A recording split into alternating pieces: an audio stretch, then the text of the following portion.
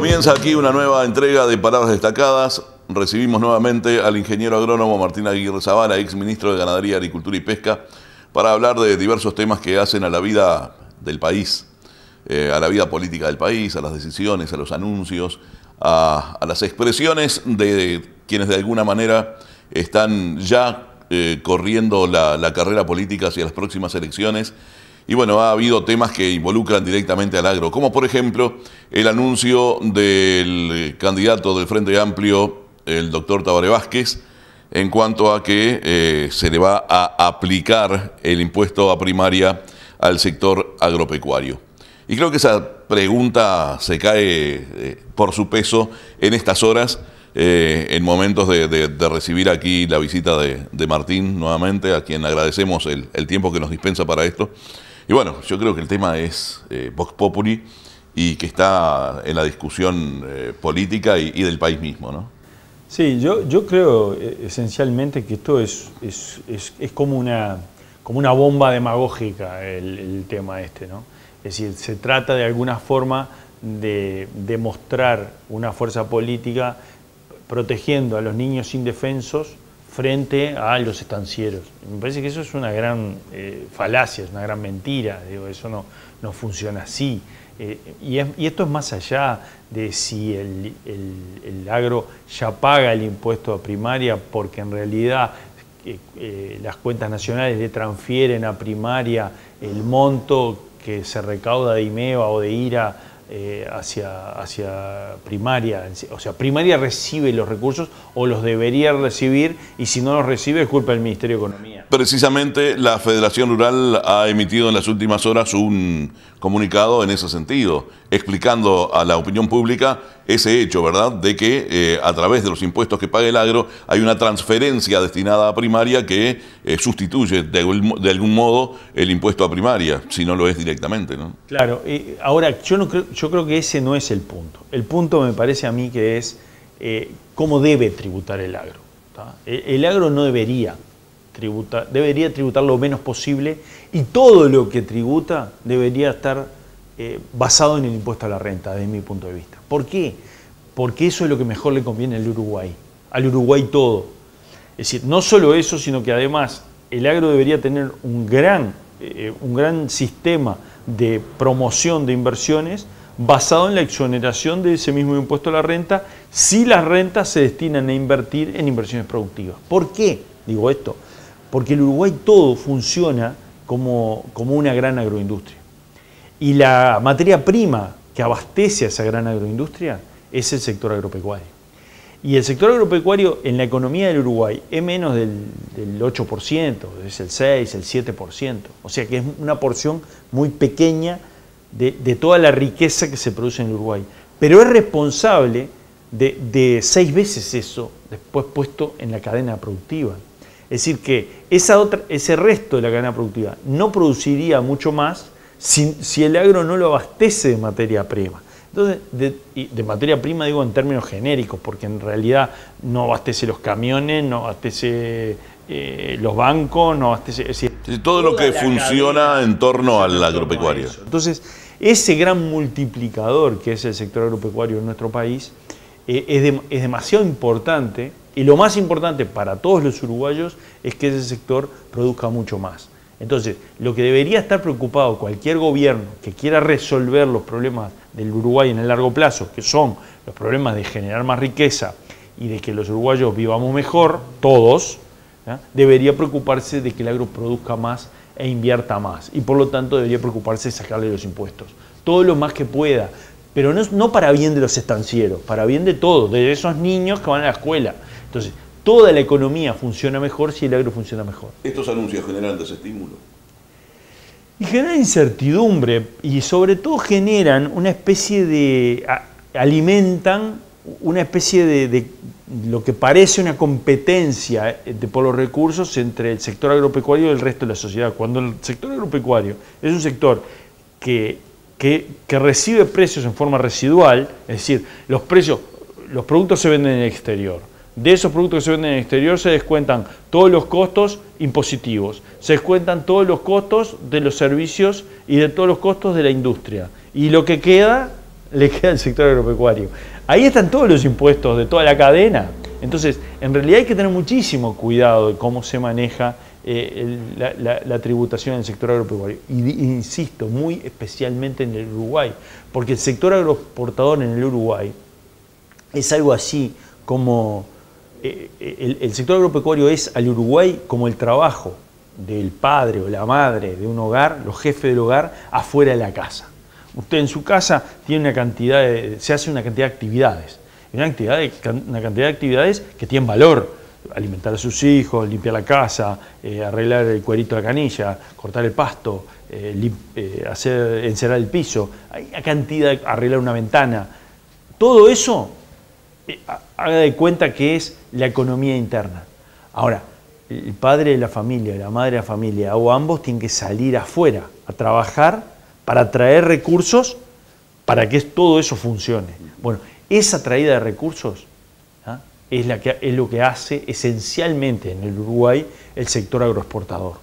¿Quién trae los recursos desde fuera para que la economía uruguaya funcione y siga creciendo? Esencialmente el sector agroexportador. No es el único, obviamente, porque también están otras industrias, también están otras fuentes eh, de exportaciones, también está el turismo, y también está el capital que entra como inversión externa, eh, como inversión extranjera directa, que se vuelca al interno. Pero lo que le da sustentabilidad al crecimiento del Uruguay en el largo plazo es el trabajo que los uruguayos podemos vender en el exterior, el trabajo que los uruguayos podemos venderle al mundo, y eso son nuestras exportaciones. Si no, si no nos damos cuenta de eso, estamos cerrando y vamos a caer de nuevo en, otras, en circunstancias ya pasadas, en las cuales nos olvidamos de eso, entonces cuando deja entrar el capital, cuando deja entrar el flujo externo de capital, el Uruguay para de crecer. Pero se dice que el agro tiene poder eh, contributivo, que tiene luz como para eh, darle al, a la sociedad eh, más ayuda. Yo creo que si el agro tiene más poder contributivo, que podemos discutirlo o puede ser discutible, deberíamos canalizarlo a que lo invierta en el sector productivo para que produzca más, porque eso le va a dar mucho más, eh, va a tener muchísimo más efecto sobre la sociedad que, esto. Entonces, deberíamos canalizarnos a un impuesto a la renta y decirle, bueno, si usted quiere invertir en riego, ¿sabe qué? Se lo vamos a descontar del impuesto que usted tiene que pagar. Entonces, parte del equipo de riego que usted va a poner, se lo vamos a descontar de los impuestos. Parte de tales o cuales inversiones productivas que tienen efecto en la producción, se lo vamos a descontar los impuestos. Pero ojo, no, no solo para favorecer el sector o los productores o los estancieros, como dice Tabaré Vázquez, con una, con una visión un poco antigua, me parece, del tema, sino para favorecer el país todo. Es, ese es el combustible de la economía. Y, y, eso, si no se entiende, me parece que se pierde una gran oportunidad. Eso es lo que entendió Nueva Zelanda. Eh, entonces, como hablábamos hace unos días, eh, el, Uruguay todavía puede tener ingresos del primer mundo, como muy pocos países, basados en su sector este, agroexportador, en su sector agroalimentario, y todavía puede agregar mucho valor si hace las cosas que tiene que hacer a, ese sector agroalimentario. Lo, lo que me parece que hay que tener claro eso. Y en realidad, de lo que estamos hablando en términos de monto, es muy poquito. Lo que se puede tributar de primaria como adicional al, sector agropecuario de impuestos es menos de lo que se va a gastar en el ante la arena. Entonces, eh, esto a mí me hace, me hace una sensación de, cortina de humo, de, efecto electorero. Justamente, faltó, falta eh, asesoramiento al expresidente Vázquez para hacer un anuncio de estas características cuando en realidad, como dice el, comunicado de la Federación Rural, el agro ya aporta para primaria o es simplemente, entre comillas y con todo el respeto, para la tribuna? Bueno, en realidad, por el efecto que tiene, es para la tribuna, tenga o no tenga asesoramiento. Ahora, me parece poco probable que a ninguno le pueda soplar en el oído la realidad de las cosas. Eh, me parece poco, eh, me parece no muy, muy creíble. Pero bueno, en realidad estos son momentos electorales y a veces se dicen cosas que no tienen sentido. Vázquez en, eh, hace un par de elecciones promocionaba quitarle el IVA a la leche y la leche nunca tuvo IVA. Bueno, hay cosas que a veces se dicen para la tribuna. Bueno, capaz que es valedero, pero también es valedero que se hagan cargo quienes lo dicen. Es decir, cuando, cuando se hace campaña y se dice gasoil productivo y después tenemos el más caro del mundo, cuando se hace campaña y se dice este, vamos a, cuidar el sector productivo y después lo que hacemos es sobrecargar los impuestos, yo creo que no está bueno eso y me parece que, que de alguna forma hay que analizarlo más profundamente. Me parece que en la campaña lo que hay que hacer es mirar hacia adelante el futuro del país y ver sobre qué bases vamos a hacer el desarrollo. Y me parece que eso eh, es muy relevante y es como debe hacerse seriamente. Me parece que eh, estos asuntos en primaria, como el propio Mujica dijo, no mueve la aguja. El, eh, el sector público gasta 15 mil millones de dólares por año esto le dará 50, 60, 70 millones de dólares lo que está planteando Vázquez. Bueno, discúlpeme Vázquez, pero eso no arregla nada. Y lo que sí hace es desestimular a la gente. En vez de estarle proponiendo a la gente que haga cosas que transformen su realidad para mejorar y para incorporar más valor, eh, le, está, le está diciendo que cree que está haciendo mucha plata y que se la va a sacar. Porque ese argumento de la capacidad contributiva es como decirle a la gente, que trabaja, a mí, que me digan, bueno, mira, si vos ganás 50 mil pesos este, y, gastás 48, todavía te quedan dos, así que te los puedo sacar. Entonces me quita mi, capacidad de ahorro, me quita mi capacidad de hacer cosas, eh, hacer otras cosas diferentes de las que hago.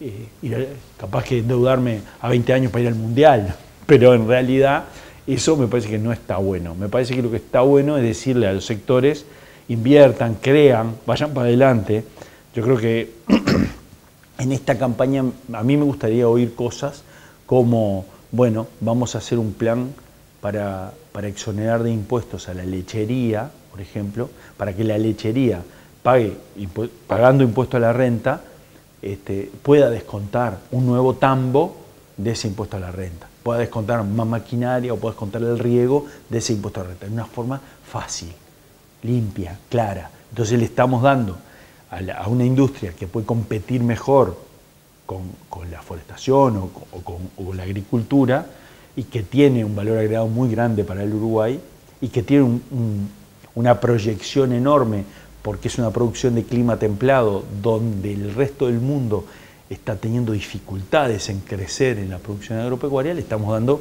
un impulso, algo que le va a dar al Uruguay en el largo plazo una herramienta de crecimiento adicional. Me gustaría más ver a, los futuros gobernantes pensando cómo vamos a hacer que el Uruguay produzca más y crezca y, seamos más prósperos, que ver cómo le, cómo le sacamos el manguito, el último manguito que le queda al trabajador o al empresario o al agro o a donde sea.